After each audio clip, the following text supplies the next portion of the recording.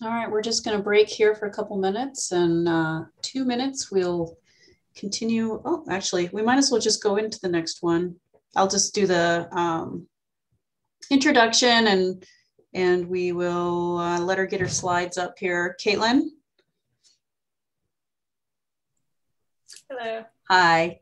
Um, so Caitlin Campbell is a PhD candidate at the University of South Dakota, where her research focuses on the effects of agricultural contaminants on amphibian populations.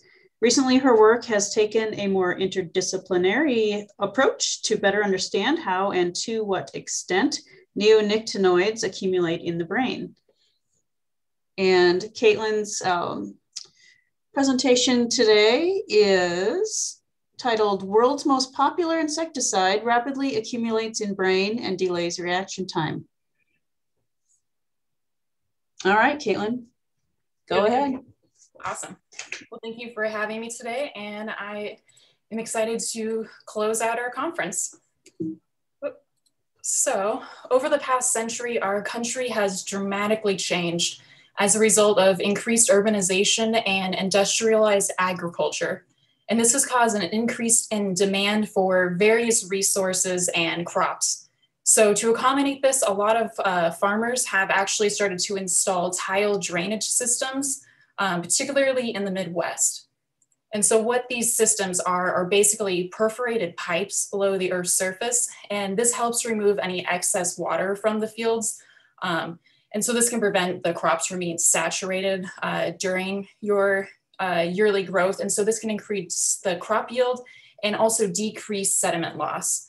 Um, unfortunately, this can also transport any extra nutrients that were left behind from various fertilizers and also potentially transport uh, more harmful contaminants. So previous work in our lab that was actually done by Drew Davis and Matt Schwarz, I think they're both on here today, um, has detected over 98 different contaminants in these tile wetland systems. Uh, so this has ranged from various herbicides to fungicides and insecticides. And so my main focus is on neonicotinoids, which are a new type of insecticide and they're neurotoxic. And they were produced in the 1990s and have since really taken off and become extremely popular amongst farmers. And so a lot of recent work over this past decade has looked at neonicotinoids and found increased concentrations of these contaminants in agriculturally dominant areas. And now this is problematic because it can have effects on a lot of non-target organisms. So you might be thinking, how do neonicotinoids work? Well, imidacloprid is the most popular used type um, throughout the entire world, and that's kind of the focus of today's talk. And so they can be applied in various different ways through seed treatments. Uh, they could be ejected directly into the soil and even sprayed onto young crops. And from there, it will be absorbed by the roots of the plants and travel up the stalk where it reaches its main target, which are sap feeding insects such as aphids. Um, unfortunately, aphids aren't the only uh, creatures that are using these crops. And so it also targets our um, pollinators. And we've seen drastic declines recently um, as use of imidacloprid and other neonicotinoids has increased. Uh, from there, imidacloprid can also build up in the soil. It has a relatively long half-life, so it can stick around for quite some time. Um, and this can then be transported into nearby wetlands and even into our drinking water systems. So if you don't filter your water, I definitely recommend it. Um, I feel like I say that at all of my talks though. Um, other ways that imidacloprid can be transported into nearby wetlands is also through runoff and the tile drains, like I mentioned earlier. And um, also it can be accumulated in like dust and stuff. And so that can go up into the atmosphere and then be deposited into nearby wetlands um, at a later date. And this also, um, I think some people were mentioning about birds and waterfowl. This has a dramatic um, negative impact also on those species. And so when it reaches these wetlands and reaches these other non-target organisms such as fish and tadpoles and even adult amphibians, um, it will then bind to these nicotinic acetylcholine receptors, which are extremely important because they're responsible for neural communication. Uh, so this involves memory and learning and the reward system. So like I said, extremely important. And it's problematic because these neonicotinoids like imidacloprid bind irreversibly to these receptors. So under normal circumstances, acetylcholine, which is a neurotransmitter, will come in through here and bind to this receiving neuron and then get broken down by acetylcholinesterase and just get cycled back through. But when imidacloprid is present, it will bind irreversibly and basically fight acetylcholine for these spots. And this will cause a backup of more imidacloprid as it's um, as these organisms organisms are continuously exposed to the contaminant. Um, and so acetylcholinesterase cannot break down imidacloprid. So this causes rapid firing and overstimulation at these receiving neurons, which can result in paralysis and death eventually. Um, and so neonicotinoids have been kind of touted as being less toxic to vertebrates compared to insects. And this is for various reasons, such as insects have more of this particular nicotinic acetylcholine receptor compared to vertebrates. And they also have slightly different configurations. So a little bit of different uh, subunits are at use. Um, but no one has actually ever quantified imidacloprid in a lot of different brains, especially amphibians. There's been a little bit of work done in fish, but no one's ever quantified it for frogs. Um, and especially even more so, no one's looked at the breakdown products of imidacloprid, which are oftentimes a lot more toxic than the parent compound itself. And so this kind of led to my overarching question is, can imidacloprid cross this blood-brain barrier in amphibians? And if so, to what extent?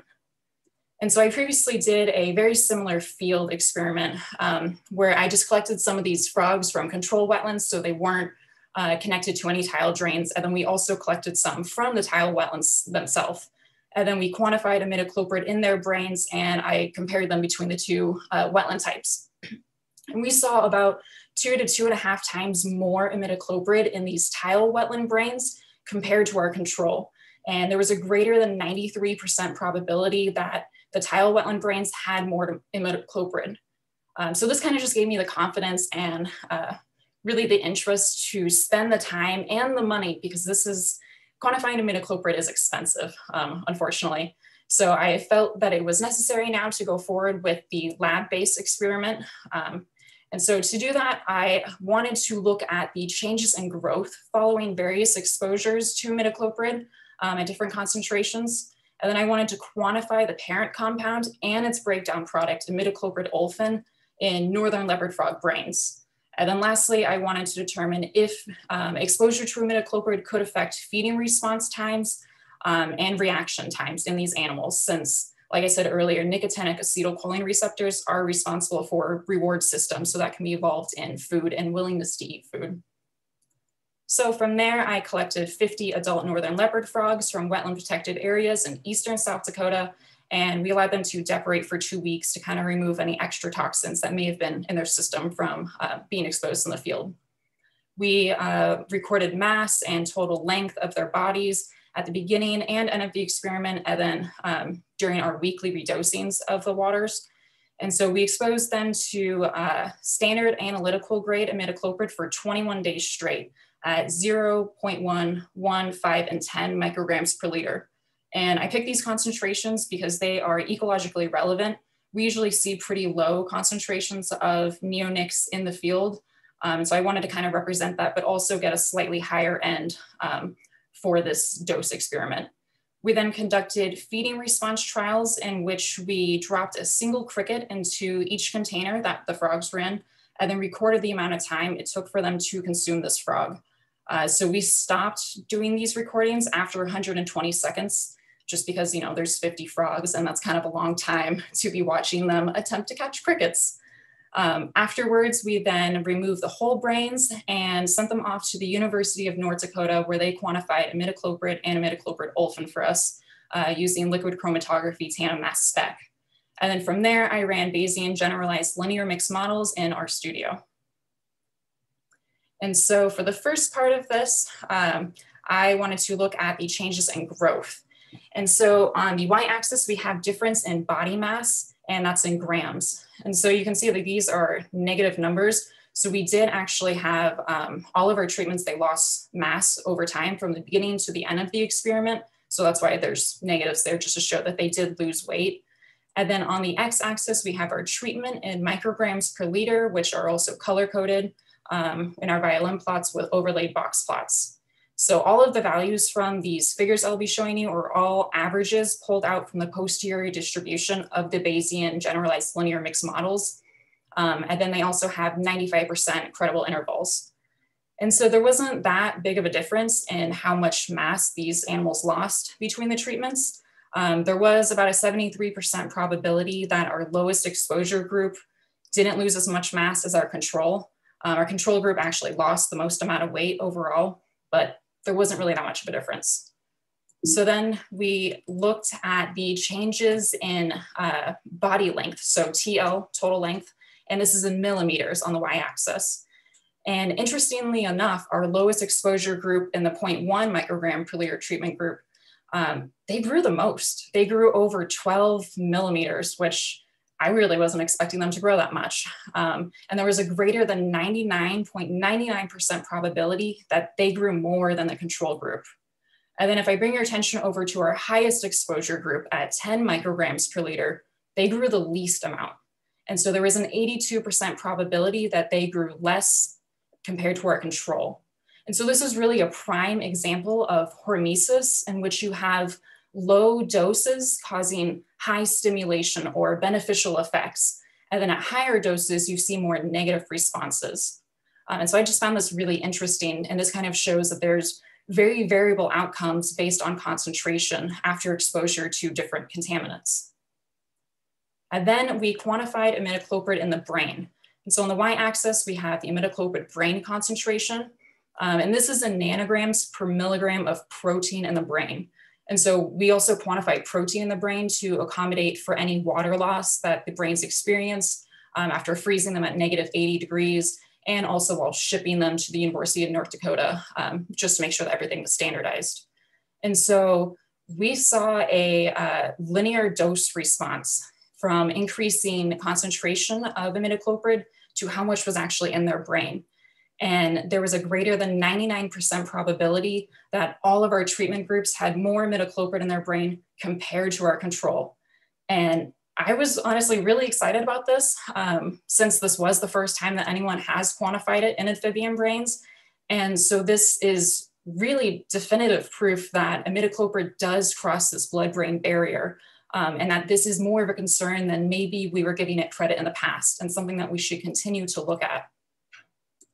And so then we looked at the breakdown product because, okay, so maybe we have the parent compound in the brain, but are uh, these contaminants going through biotransformation or are they just being excreted afterwards?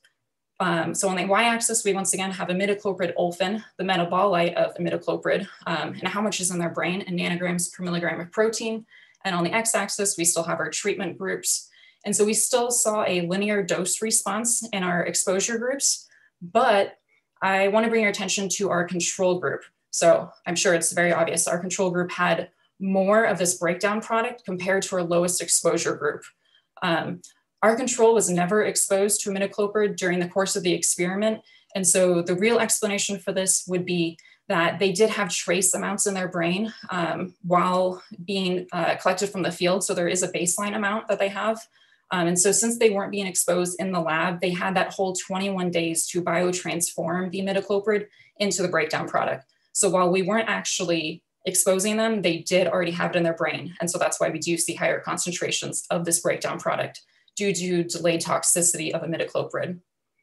Um, and so there was still a greater than 93% probability that our lowest exposure group was different from our control and a greater than 88% probability that our highest exposure was different from the control.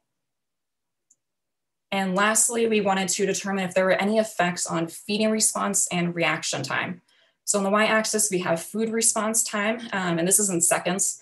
And so as the time increases on the y-axis, that actually shows that these animals were getting slower. So that means that it took them even longer to capture these crickets in their containers. And we saw, we saw a biphasic response, uh, which is a pretty common response that you see after exposure to contaminants. Um, but I was actually kind of surprised to see that our middle group, our one microgram per liter, was actually the slowest group in comparison to our control. And they were the slowest with a greater than 95% probability that there was a difference. And then if you look at our highest exposure group, they were a little bit faster. Um, and so I'm still kind of looking into the reasons behind this. I have a theory that different concentrations could um, alter the way that it's binding or maybe where it's binding. So maybe at lower concentrations, it's specifically binding in certain regions, whereas maybe at higher concentrations, it's spreading out. Um, but this is something I would love to look into further um, and try to figure out exactly what is going on here. And so in conclusion, we found that imidacloprid can in fact cross the blood-brain barrier in adult amphibians and that this parent compound imidacloprid is going through biotransformation and being turned into its metabolite, which is more toxic um, to a wide variety of organisms, uh, which is imidacloprid olefin. We saw dose response relationships um, in terms of how much imidacloprid and its breakdown product were in the brain. And we also saw that imidacloprid can reduce growth at higher exposure groups um, and also alter behavior, which is kind of concerning. And so some future work that I would like to look into is how stress affects the blood-brain barrier in amphibians. Uh, so we already know that increased stress can increase the permeability of this region. Um, and so I'm interested in looking at various mixtures of contaminants um, and also how these contaminants interact then with various diseases such as chytrid fungus that's been causing a lot of wipeouts and other people have also talked about earlier uh, yesterday. And I'm interested in comparing different age groups, um, so this is all something that I'm going to be doing this summer. And I'm really excited to do uh, even further after my PhD because I only have one field season left, unfortunately. Um, but with that, I would like to acknowledge all of the help I received for this project through my mentors, Dr. Kerby and Dr. Wesner for helping me with Bayesian analysis. Um, the funding that made this process possible. Uh, like I said, this it does get expensive. So I am very grateful for that amount of funding that we got chemical analysis done by the University of North Dakota, and my two undergraduates, Peyton Keller and Lily Heinzel, who helped a tremendous amount, and I could not have done it without them. And with that, I will answer any questions. And we have time, so please go ahead.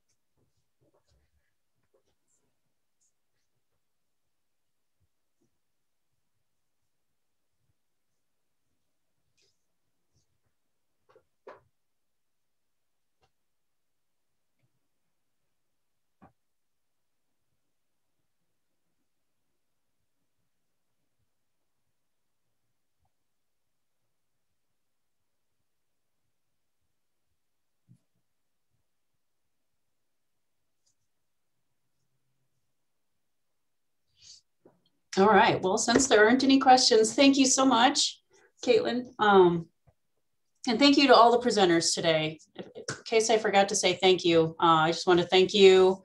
You all did great. It was such an interesting day today. Well, yesterday was interesting too. So I always love the uh, Wildlife Society meeting because there's always so, so much diverse and interesting um, work going on. And I love to hear about what everybody's doing.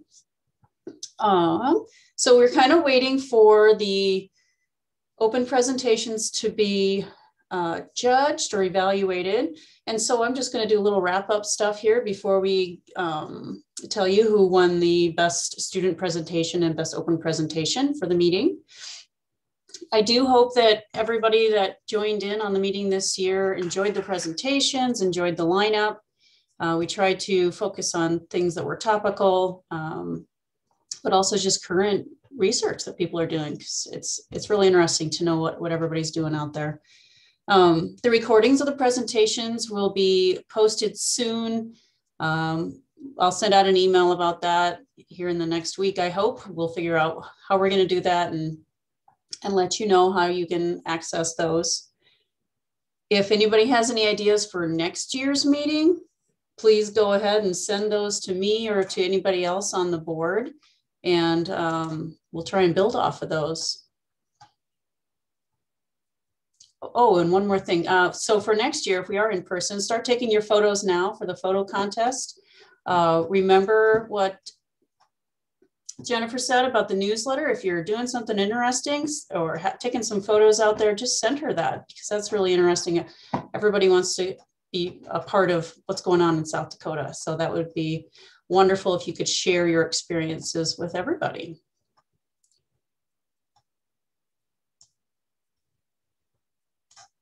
How are we doing, Casey? Does anybody have any questions while we wait or other discussion points?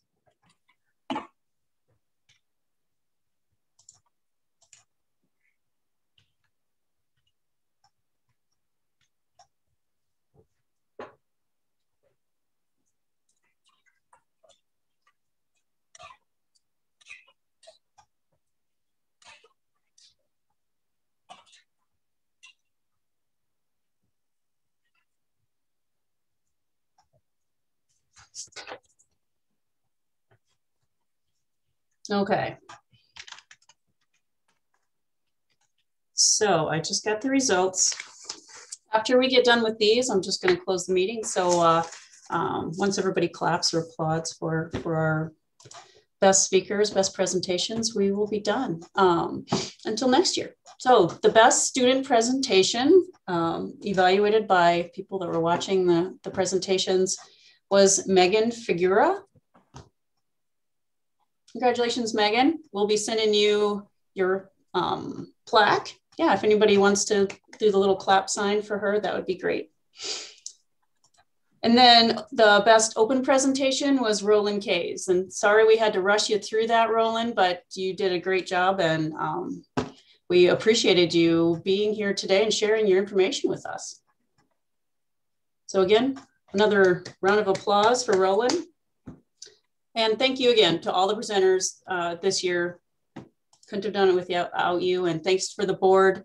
Um, and thank you, Casey, for all your assistance. Everybody stay safe out there and we'll see you next year. Thanks, Julie. Great job.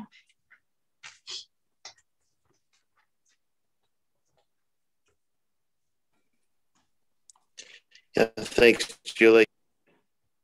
Thanks, Eddie.